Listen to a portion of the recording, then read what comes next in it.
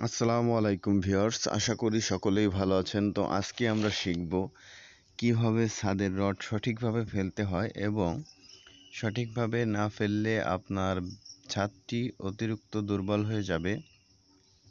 তো যদি কোনো নতুন মিস্ত্রি ভাই আমার চ্যানেলটি সাবস্ক্রাইব করে থাকেন, তাহলে অবশ্যই জানতে পারবেন যে ছাদের রডটা কীভাবে ফেলতে হয় এবং যারা বাড়ির কাজটি করাবেন, তারা যদি জানেন তাহলে ভীষণ রকমের উপকৃত হবেন। আপনি বুঝতে পারবেন যে আপনার বিল্ডিংয়ে আসলে ফাঁকি দেওয়া হচ্ছে কি না। তো যাই হোক ভিয়ার্স আমি বোঝানোর জন্য আপনাদেরকে মাঝে মাঝে একটু কাগজের সাহায্য নিব। তো সর্বপ্রথমে আপনাদেরকে রুমের ডিস্টেন্স নির্বাচন করতে হবে। কোন দিকে লং রয়েছে এবং কোন দিকে শর্ট রয়েছে। তো শর্ট ডিরেকশনের রডটিকে আগে ফেলতে হবে। ধরুন, এখানে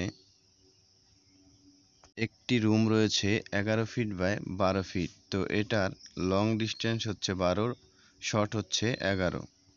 তো এটার সর্বপ্রথম যেই রডটা পড়বে সেটা হচ্ছে এগারো ফিট যেই দিকে রয়েছে, সেই দিকের রডটা আগে পড়বে। তো এখানেও ঠিক সেরকমভাবে এল ফোরের সাতটিকে ফেলা হচ্ছে। তো ভিওর্স এখানে প্রত্যেকটা গ্যাপ দশ ইঞ্চি বাই দশ ইঞ্চি করে দেওয়া হবে।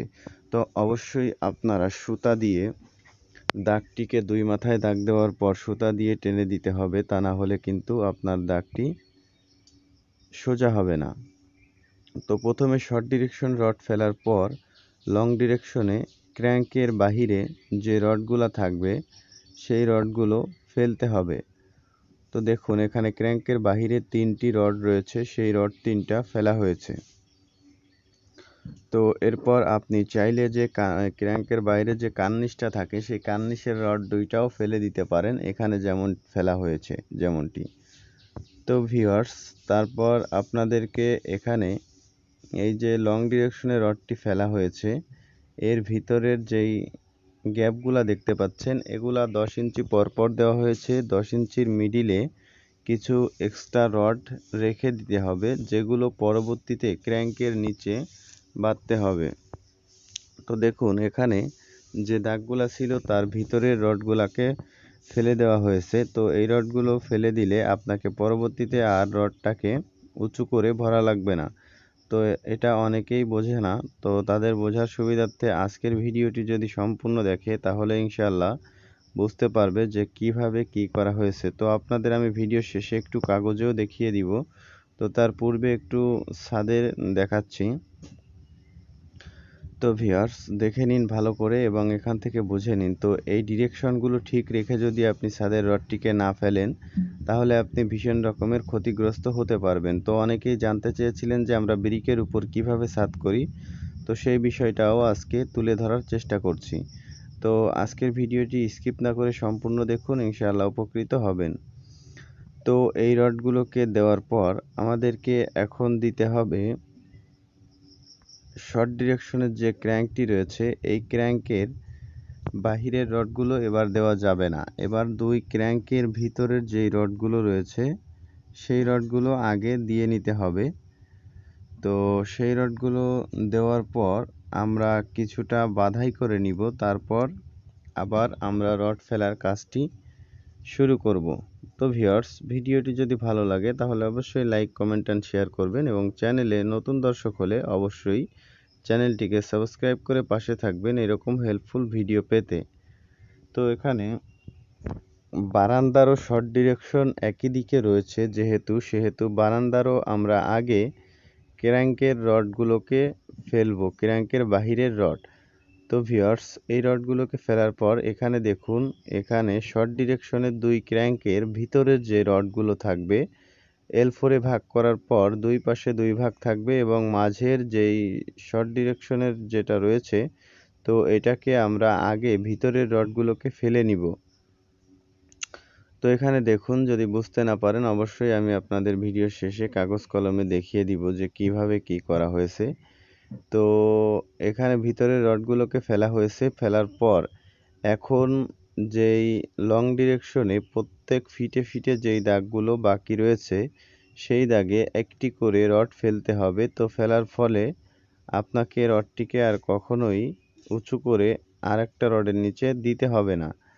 তো এখানে উঁচু করা ছাড়াই ছাদ কীভাবে ফেলবেন সেই সিস্টেমটা দেখানো হচ্ছে। এবং এটি একটি সঠিক পদ্ধতি। তো ভিউয়ার্স এখন দেখুন, দুই ক্র্যাঙ্কের ভিতরে রডগুলাকে ফেলার পর এখানে ভিতরে দেওয়া হচ্ছে এবং প্রত্যেক ফিটে যে লং ডিরেকশনের রডটি রয়েছে, সেই রডগুলোকে দিয়ে দেওয়া হচ্ছে। তো এগুলোকে প্রতি দাগে একটা করে দিয়ে দিতে হবে। প্রতি দশ ইঞ্চি পরপর একটা করে দিতে হবে। এখানে দাগ দেওয়া রয়েছে। তো ভিওর্স দেওয়ার পর আমাদেরকে এখানে সোজা করে বাইন্ডিং করে নিতে হবে। নেওয়ার পর তারপর আমরা যেই রডগুলো আছে, সেই রডগুলো ফেলব। তাহলে সঠিকভাবে প্লেসমেন্ট থাকবে। তো এটা বুঝবার জন্য আপনাদেরকে একটু কাগজের সহায়তা নিতে হবে। তো এটা আমি ভিডিও শেষে ভালো করে আপনাদেরকে বুঝিয়ে দিব। আগে দেখুন কীভাবে আমরা রডটি ফেলতেছি। তো যারা সাধারণত মিস্ত্রি, তারা মোটামুটি দেখলেই বুঝতে পারবে যে এটা কীভাবে কি করা হয়েছে। তো ভিওর্স এই রডগুলো বাধাই হয়ে গেলে তারপর আমাদেরকে এখানে এবার এই যে শর্ট ডিরেকশনের যে ক্র্যাঙ্কের বাহিরের রডগুলা ছিল, ওই রডগুলা ফেলে নিতে হবে। তো ওই রডগুলা ফেলে নেওয়ার পর আমরা অবশ্যই লং ডিরেকশনের যে গ্যাপটি রয়েছে, সেই গ্যাপে প্রত্যেক ফিটে আগে শর্ট ডিরেকশনে তিনটা করে রড দিতে হবে ওয়ালের দুই সাইড থেকে। দেওয়ার পর লং ডিরেকশনে যেই রডগুলো বাকি রয়েছে, সেই রডগুলো ওই যে দশ ইঞ্চির ভেতরে ভেতরে বাকি ছিল, ওই ফাঁকে একটা করে রড দিতে হবে। দিলে আমাদের কাজ মোটামুটি শেষ। এরপর যে কাজগুলো থাকবে, সেগুলো হচ্ছে আপনার ক্র্যাঙ্কের ইয়ে যে ক্র্যাঙ্ক টানতে হয় উঁচু করে, ওইটা কীভাবে করতে হয়, ওইটাও আমি আপনাদের এই ভিডিওতে দেখাবো। তো ভিউয়ার্স আপনাদের যদি কোনো কিছু বুঝতে সমস্যা হয় বা আপনারা এর চেয়ে স্পষ্ট আকারে ভিডিও পেতে চান, তাহলে অবশ্যই কমেন্টে জানাতে পারেন। অবশ্যই আপনাদের কমেন্ট অনুযায়ী আমি এর থেকে আরও স্পষ্ট বা সঠিকভাবে একটা ভিডিও আপনাদের জন্য উপস্থাপনা করার চেষ্টা করব। তো ভিউয়ার্স এখানে দেখুন, এই যে যে রডটার কথা আপনাদের একটু আগে বলছিলাম যে ওয়ালের সাইটে তিনটা করে রড দিতে হবে। মানে এটা হচ্ছে আপনার ক্র্যাঙ্কের বাহিরে, ক্র্যাঙ্কের যে দাগ থাকে তার বাহিরে যে রডগুলো দেওয়া হয়, এগুলো পরবর্তীতে যখন ক্র্যাঙ্ক টানা হবে তার নিচে বাঁধা হয়ে যাবে। তো এটা দেওয়ার পর আমাদেরকে এর উপরের যে শর্ট ডিরেকশনের রডটি মানে লং ডিরেকশনের রডটি দিতে হয়, তো ওইটা দিতে হবে। তারপর এভাবে ক্র্যাঙ্কটিকে টেনে নিতে হবে। নেওয়ার পর এই যে আমরা আগে যেই রডগুলা দিয়ে রেখেছিলাম গ্যাপে গ্যাপে এই ক্র্যাঙ্ক টানার পর সেই রডগুলোকে বেঁধে দিতে হবে।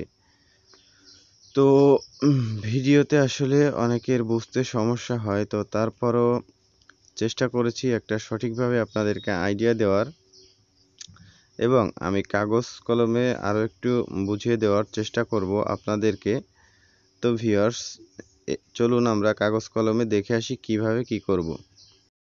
তো ভিউয়ার্স আমাদেরকে সর্বপ্রথমে জানতে হবে ছাদের লং ডিরেকশন এবং শর্ট ডিরেকশন তো এখানে দেখুন, এই দিকটা এগারো ফিট রয়েছে এবং এই দিকটা রয়েছে বারো ফিট তো সেহেতু আমাদেরকে এই দিকটা রয়েছে শর্ট ডিরেকশন এবং এই দিকটা রয়েছে লং ডিরেকশন তো এটারা আপনারা কীভাবে ঠিক করবেন? এবং এই বারান্দাটি দেখুন, এরও শর্ট ডিরেকশন এইদিকে রয়েছে, রুমেরও এইদিকে রয়েছে এবং লং ডিরেকশন এইদিকে রয়েছে।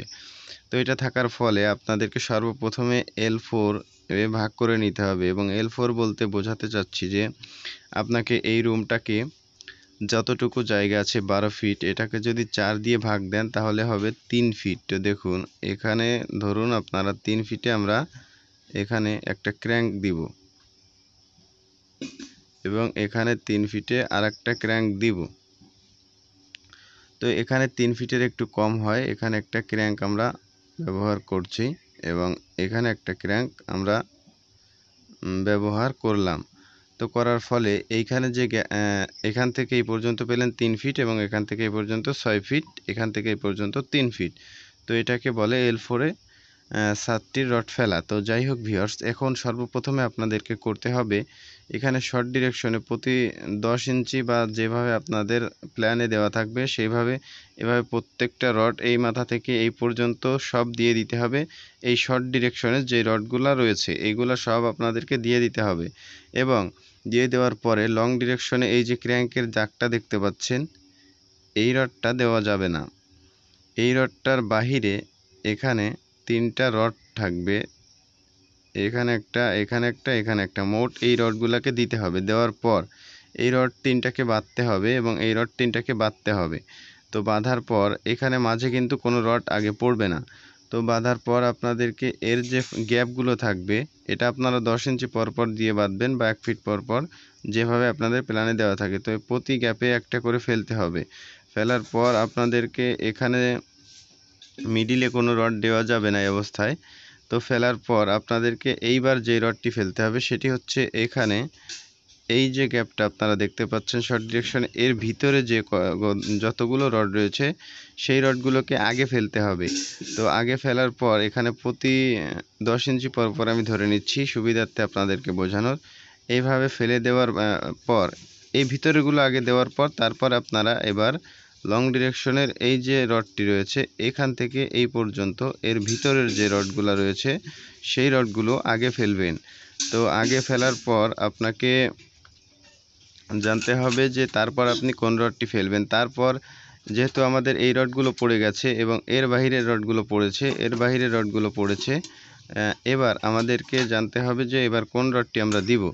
তো তারপর ওই রডটি দেওয়ার পর এখান থেকে এই পর্যন্ত যে রডটি রয়েছে শর্ট ডিরেকশনে, এর বাহিরে যে তিনটা রড রয়েছে, এই তিনটাকে আমরা এবার ফেলে দিব। ফেলে দেওয়ার পর, তারপর আমরা করব কি? এইখান থেকে এই পর্যন্ত লং ডিরেকশনের যে রডগুলো রয়েছে, এই ক্র্যাঙ্ক থেকে এই ক্র্যাঙ্কের ভিতরে সেই রডগুলোকে ফেলে দিব। তো ফেলে দিলে আমাদের সাতটি মোটামুটি শেষ, ফেলা কমপ্লিট তো এখানে এরপর আমরা ক্র্যাঙ্কগুলোকে টেনে দিব। টেনে দেওয়ার পর অবশ্যই এক্সট্রা টপ আর যে বাড়তি কাজগুলো আছে, এগুলো আমি আশা করছি ইনশাল্লাহ আপনারা সকলেই জানেন বা বোঝেন। তো আসলে যদি এরপরও কারোর বুঝতে সমস্যা হয়, তাহলে আমি এর চেয়ে আরও সুন্দরভাবে উপস্থাপনা করে আপনাদের জন্য একটা ভিডিও তৈরি করব। তো সেটা আপনারা অবশ্যই কমেন্টে জানাবেন। তো ধন্যবাদ যারা ভিডিওটি শেষ পর্যন্ত দেখলেন।